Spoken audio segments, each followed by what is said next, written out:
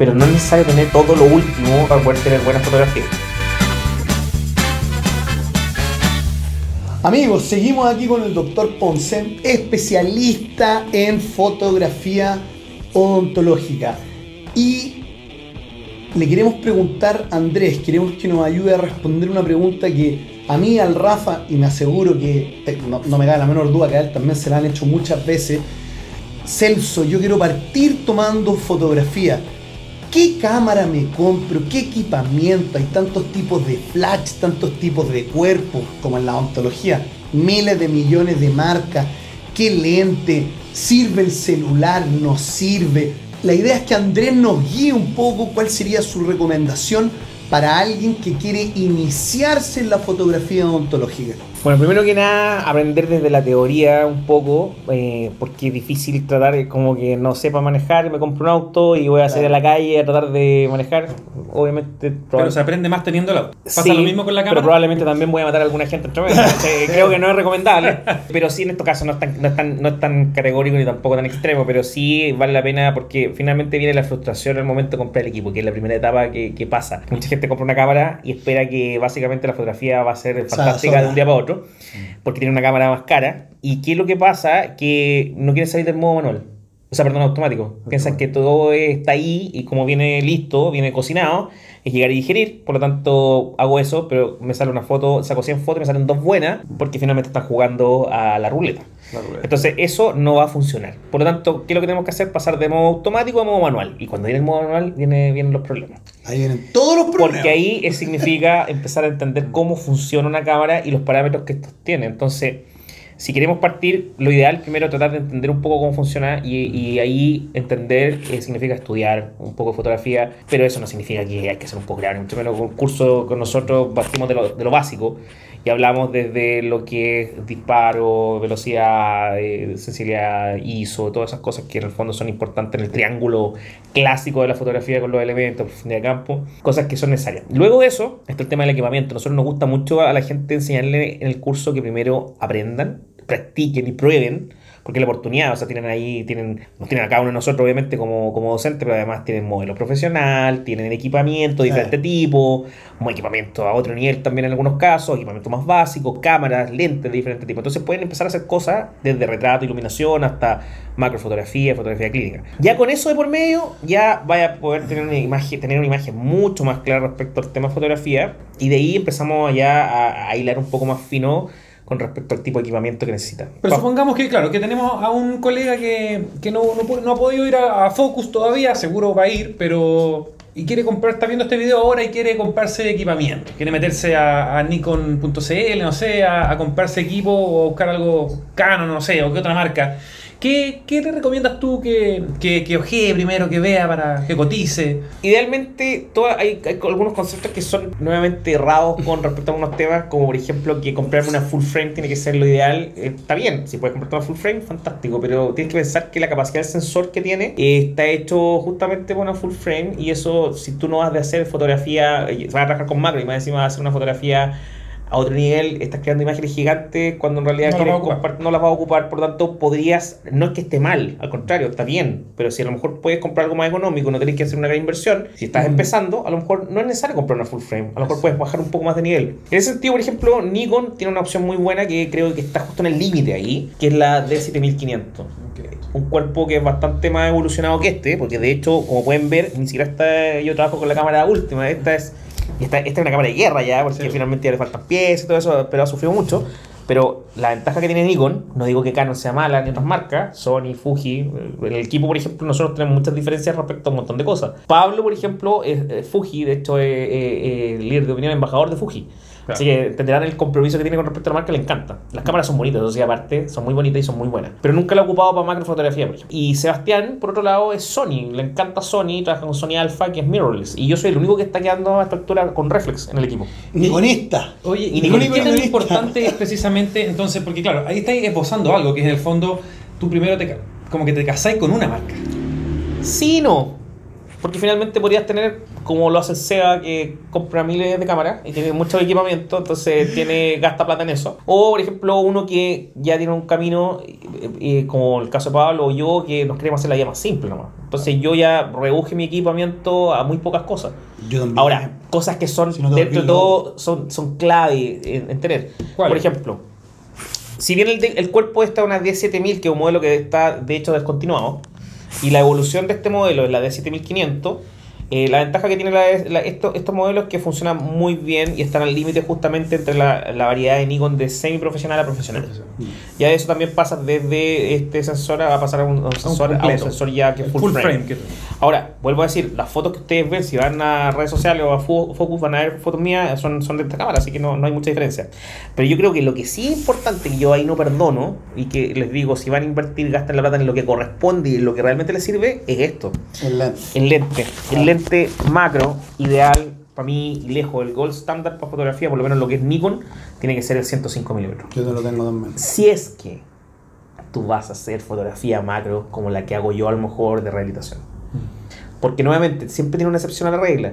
Si yo hago, por ejemplo, ortodoncia, esto va a ser un dolor de Un cabeza. dolor de cabeza. Porque necesito fotos del arco completo, de frente, Ah. y esto va a ser una lata. Entonces, finalmente voy a tener que estar alejándome o comprarme una consulta más grande. Claro, muy Ahí lejos podríamos, pero ahí podríamos recomendar un, un macro de 60. Pero igual un macro de 60 anda bien. estarlo, y que estarlo cambiando. po. La idea es que No, sea no, uno no, para pero es que lo que pasa es que a lo mejor mis necesidades no son las mismas. Claro. Y ahí viene el punto que muchas veces nos dicen, compro equipo y tengo que llegar con una lista, que era también algo que decíamos en los cursos, ¿por qué hacen eso? Si tengo que darle la opción de enseñarle, no puedo, necesito que vengas con una cámara, esto, esto, ¿para qué? Yo creo, Rafa, que. Al revés tiene que ser. Mm. Yo creo, Rafa, que ese es el punto más importante que tocó. Entender un poco cuáles son, sus- son tus necesidades con respecto a la fotografía es súper importante para poder entender, porque no puedo aplicar una, una misma línea para todos, y que no todos van a hacer lo mismo, ¿me entiendes? Entonces, el macro, por ejemplo, lo que conversamos, yo a lo mejor, para mí un 105 milímetros es súper importante, pero con ortodoncista a lo mejor un 60 milímetros está más que bien, y no necesita más.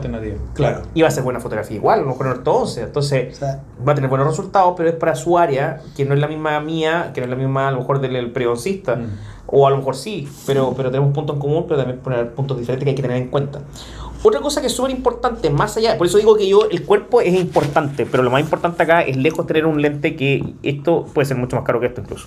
sí, por supuesto. Y finalmente, una cosa súper importante que hay que tener en cuenta son, eh, y que algo que se, generalmente se deja de lado cuando se hace fotografía, es la iluminación, O sea, por lejos. O sea, si me preguntáis a mí, mi opinión fotográfica es que en la escala del orden de la importancia, primero está la luz, después viene el lente y el último el cuerpo. Sí, porque finalmente si tú, partiéndonos y poniéndonos latero un poco ya el análisis de fotografía, escribir con luz, es el concepto en el latín. Lógico. Y eso significa que eh, en el fondo necesito una buena fuente de, de iluminación, una fuente, una fuente lumínica adecuada para lo que yo quiero hacer. Estoy sacando fotos, metiéndome a la, a la cueva básicamente del oso para poder sacar fotos y querer sacar todo. Entonces no puedo, no puedo eh, creer que con un pequeño flash o el flash que viene en la cámara montado encima voy a lograr una fotografía decente, cosa que no va a hacer. Y siempre está pensado para tomar fotos donde hay un sol. Eh, y la verdad que hasta por ahí, en realidad, Sí, este, los, los- Bueno, los para que traiga, fotógrafos profesionales como que que, es como para que traiga un flash cumplir con, el, cumplir con el requisito. Exacto. No sirve para nada. No es Exacto. mucho más que Yo no lo eso. Ahora, yo en general ocupo flash inalámbrico. Ahora, ahí tenemos discrepancias también con el equipo, allá con, con Focus. Porque, por ejemplo, Pablo, obviamente, por su trabajo, ocupa flashes de estudio. Está claro, porque trabaja con modelos, trabaja con gente de, de- publicidad, entonces, flashes de estudio es el tema. Yo, por mi lado, lo que hago es trabajar con, con flashes de estudio porque me gusta mucho el resultado de trabajar con softbox y trabajar con una fuente que es constante y potente. Hablemos de luces. Luces tenemos. Entonces, tienes opciones. Por ejemplo, las opciones generalmente más comunes en, en ontología son trabajar Ring Twin. con Ring O Twin Twin. Flash, eh, Twin Flash y en este caso los las luces de estudio, los flashes de Los estudio. softbox. O sea, Y los modificadores de luz respecto a eso, bueno, pueden ser bouncer o rebotadores. En el caso de lo que estamos haciendo Paraguas. acá, eh, también puede ser con paraguas, si quieres trabajar con flash de estudio, o directamente difusores, que eso ya hay difusores pequeños para los twin o difusores para el caso de los flashes de estudio. Con esas opciones tú puedes ya jugar. Ahora, si tú me preguntas cuál es la mejor opción para mí, y vuelvo a decir, para mí, porque Sebastián, por ejemplo, le encanta tomar con ring flash y hace modificadores el mismo con un guante látex, eh, que lo cual funciona súper bien. Eh, por ejemplo, también ocupa poco los twins. La verdad que en realidad somos todos medio enemigos los twins. Creo que fue una decepción de nuestra parte trabajar con porque es una, una, una inversión que no es menor en el caso de Nikon Carísimo. y el resultado no es tan bueno. Yo Además, el en origen, la fuente de energía, la fuente de energía, yo los tengo, bueno, no lo quería vender porque simplemente los tengo ahí y los muestro en los cursos, pero no los ocupo. Y la fuente de energía que tienen es muy pobre porque finalmente son unas baterías que para empezar son escasas porque es un modelo que no es un modelo común. R1 se, es, en la Es una batería batería- es una batería- 123A RC es, un- 123. es una batería pequeña que no es tan común, por lo tanto, si tú quisieras en una emergencia no tiene, eh, la carga, hay que cargarlo obviamente. Y a mí lo que me gusta mucho de los flashes de estudio es que tengo la opción de cargar, eh, o sea, de- perdón, de ocuparlo en base a que están conectados a la electricidad. Sí. Pablo. Pablo trabaja con otros sistemas que son con batería y son más pro, Mm. obviamente, como, no sé, 2 millones de pesos cada flash. Claro, imagino que Profoto. tiene, tiene Eh, que Profoto. salir a tomar Ah, fotos claro, es diferente. Pero en mi caso yo trabajo con estos que son enchufados que no son tan caros. Pero. Profoto también es enchufado, tengo entendido. No, Profoto, eh, es que Profoto es la marca, pero Sí. eh, Profoto tiene, Ah, tiene- varias opciones y los que trabaja él específicamente son inalámbricos.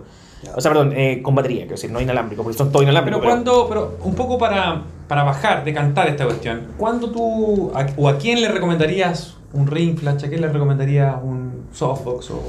Vuelvo a decir, dependiendo de lo que tú quieras hacer, si tú quieres hacer un registro fotográfico y mejorar tu fotografía, claramente ya implementar este equipamiento va a ser una ventaja. Ocupar Ring Flat o Twin Flat va a ser una opción, pero si tú me das la opción y no te importa, preferiría, en ese caso, Ring Flat si quieres hacerlo simple.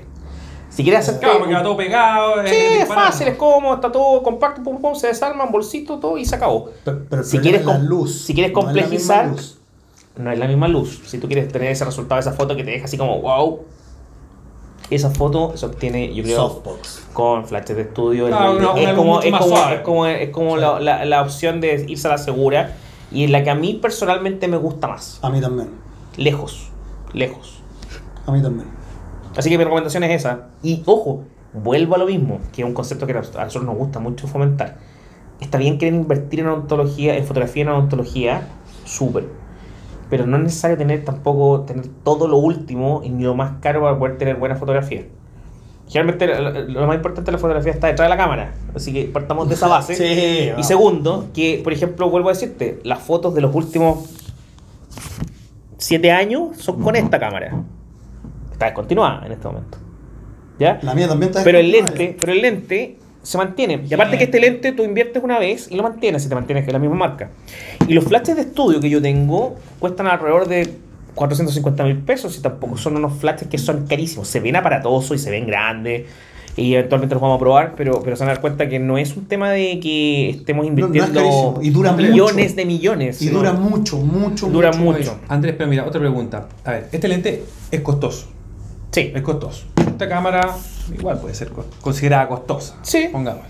Y las luces, dependiendo del que uno elija también. Entonces, ahí nace eh, la idea de algunos colegas, y con el auge que tienen estas cuestiones de los celulares, de tratar de tomar fotografía clínica con teléfonos. Pero yo sé que tú ya mencionaste que no te gusta tanto, pero ¿has visto los nuevos elementos que han salido para... Sí, yo tengo- los- yo tengo el- que vienen con... Claro, es que una cosa es el gimbal que viene con luz, que es una cosa más que nada para estabilizar Vi- imagen y hacer claro. video. ¿ya? Eso funciona bien porque en realidad con una buena fuente lumínica eh, un teléfono actual puede hacer buen video. De hecho hay videos que graban en 4K Sí. y tienen. Rápidamente, y funcionan bastante bien y la verdad que video yo de acuerdo 100% ocúpenlo, no hay ningún problema. Si quieren hacer registro en video, bien. Con buena iluminación de complemento, un par de luces LED, va a andar súper bien porque se comporta genial. Fotografía es otra cosa. Fotografía es otra cosa, porque directamente el sensor, y, y- y se ra- radica todo en eso, son sensores. El sensor de una cámara se mide en tamaño, básicamente, el sensor. Y si tú hicieras una comparación entre el sensor de una cámara del teléfono versus una cámara como esta, que ni siquiera es full frame, darías cuenta que es una pequeña porción de espacio versus la, la- la cámara reflex o la cámara... Por una cosa de tamaño, simplemente. Eso implica Claro. muchas cosas porque finalmente todo esto se reduce Sí. a tamaños y a píxeles y píxeles en un espacio determinado.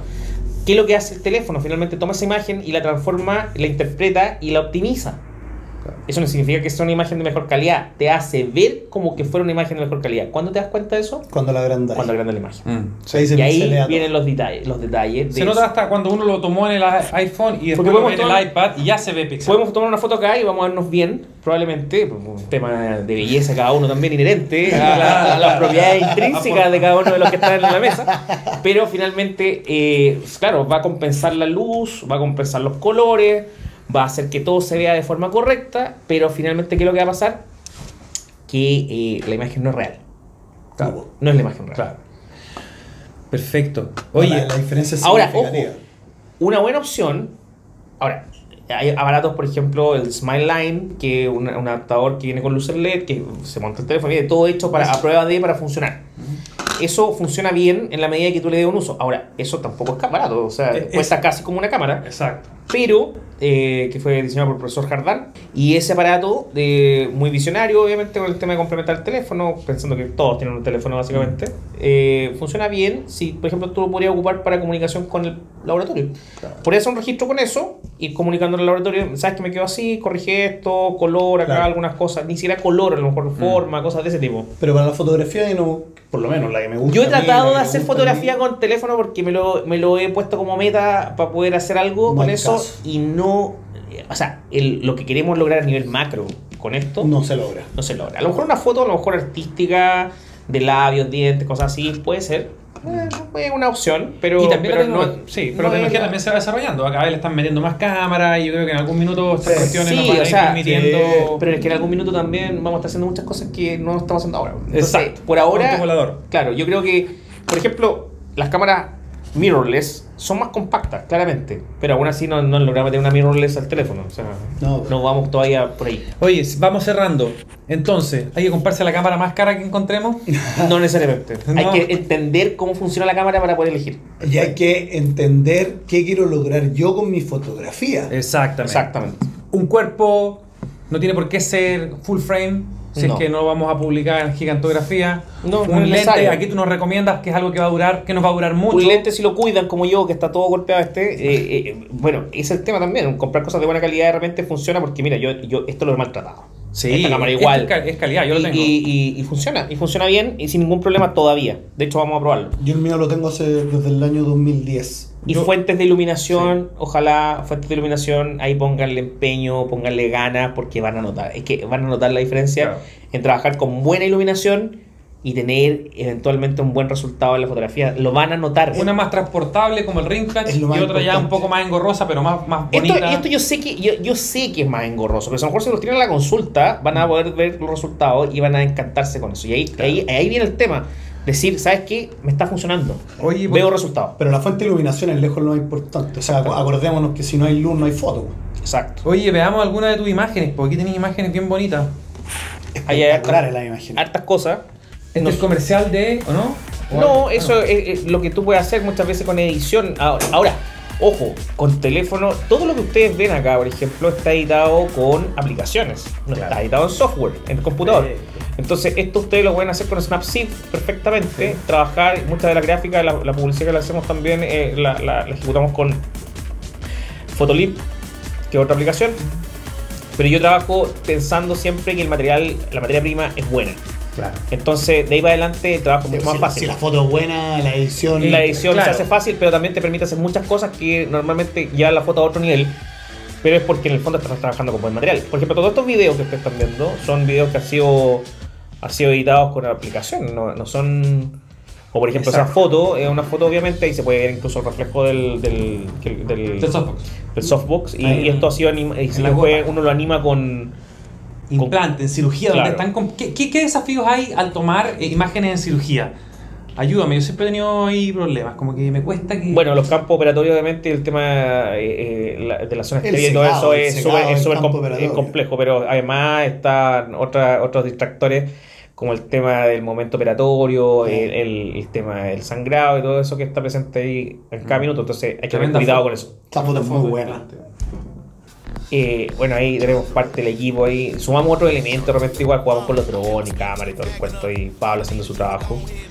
Eh, jugamos Está harto Fuji. y ahí está con Fuji Ah, y ahí estamos nosotros todos ahí y ahí son puras imágenes y fotos son animadas Eh, eso también lo hacemos con aplicaciones con teléfono o sea es- hoy día tienes que pensar lo siguiente en el fondo tienes la ventaja de tener teléfonos súper inteligentes y súper poderosos y potentes para poder crear cosas a la mano que funcionan muy bien eh, con resultados buenos. Entonces, si le sumas buena materia prima, como son las fotos de buena calidad, y después editas, puedes crear elementos como estos. A ver, y No tírate difícil. algunos, algunos, algunas aplicaciones. que Snapseed, Snapseed. bájenlo, ocúpenlo, es gratis, no necesita pagarse nada.